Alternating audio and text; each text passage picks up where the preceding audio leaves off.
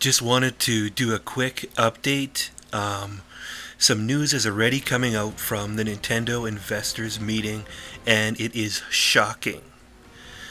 It is being reported that Nintendo has stated that there will be no NX at E3 this year, and they will focus on Zelda U instead.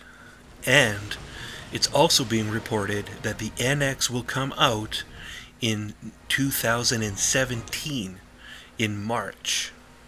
This news is extremely fresh and hot off the presses.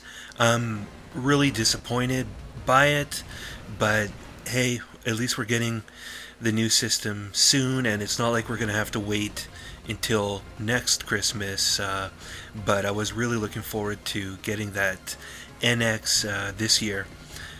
I will be back with more updates um, when I've had a chance to sleep this one off, and um, I just thought I would get this information out to you guys as soon as possible.